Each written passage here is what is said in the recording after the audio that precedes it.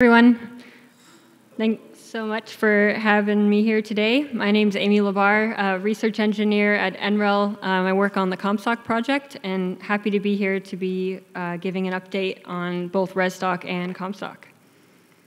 So for those who are not familiar or uh, could use a refresher, um, ResStock and Comstock are building stock energy modeling tools with the goal of putting data in the hands of decision makers. I don't think I need to tell this group why building energy modeling is important or how building stock energy modeling can assist with efforts like electrification planning, policy and rate design, emissions analysis, integrated resource planning, and decarbonization analysis. Specifically, ResStock and Comstock are DOE funded, NREL developed uh, stock modeling tools um, of the US building stock built on Energy Plus and Open Studio. Between the two, there are about 900,000 individual building energy models um, to represent the diversity of the stock. So these are representative models, um, not intended to model each individual building, but within the data set, you will be able to find a model that is similar to a building in real life, and the proportion of, um, of that model is uh, within the data set matches the proportion of that type of building in real life.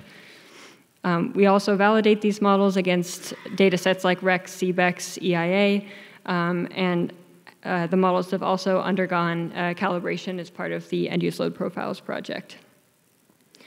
All right, so this is a summary of what our teams have been up to over the last year and a half to two years.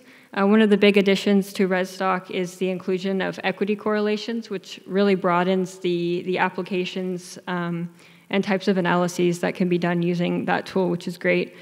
On the Comstock side, uh, we've done a, a lot of um, baseline improvements to things like kitchen equipment, HVAC, and fuel type distributions, as well as interior lighting and windows. A big effort for both teams has been this end use saving shapes project, which I'll uh, talk a bit about now. So, end use saving shapes is a study um, investigating the impacts of energy efficiency and electrification measures on the baseline stock models. Um, we are releasing new upgrade measures and packages every six months. You can see a list of what we have available for each of the models um, today.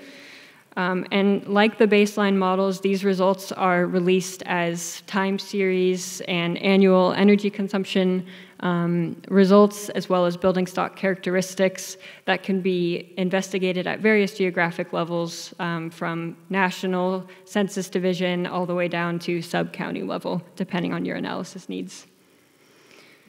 All right, this is where we're headed over the next year, year and a half. Um, ResStock, we're going to be adding Alaska and Hawaii to the models. They'll also be adding some EV capability as well. Um, as they will be improving heat pump modeling as well as um, backup heat sizing and adding electrical panel and service sizing and resizing. Uh, Comstock will be adding thermal bridging, revising occupancy and ventilation assumptions, adding utility bill impacts, which we're really excited about, um, as well as developing a gap model, and then continuing to release upgrade measures as part of end use saving shapes. So there are a few ways to get started with these models. If, if you're not familiar, um, highly recommend you check out our websites, which are highlighted in, in the blue box there. Um, and then we also have our emails listed if you have any questions or, or feedback for us. Um, we're always interested to, to chat and connect. Um, the end use load profiles and saving shapes webinar recordings are available online and are a great resource for understanding more about the models and what um, data is available. Also, highly recommend checking out um, this new Comstock documentation website, which you can get to from comstock.nrel.gov, which has a whole host of user resources um, to make it easier to, to do analysis with the tool. Um, so the data sets are the most straightforward way to interact with the models, um, but the ResStock and Comstock workflows are both public on GitHub, and that includes the upgrade measures um, as part of the end-use saving shape. So those are Open Studio measures um, available on the Comstock repo. Uh, and then lastly, here we have a ResStock Comstock technical assistance team that we're creating, whose sole purpose will be to assist utilities, consultants, um, federal, state, local entities in using these tools to implement the clean energy transition.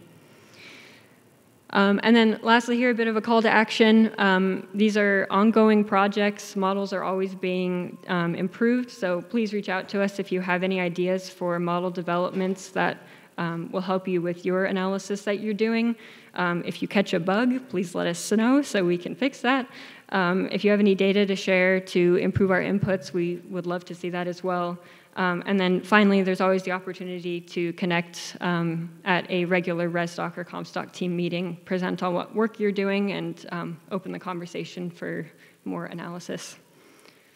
Um, and with that, thank you so much for your time, and please connect with me afterwards if you have questions. Thank you.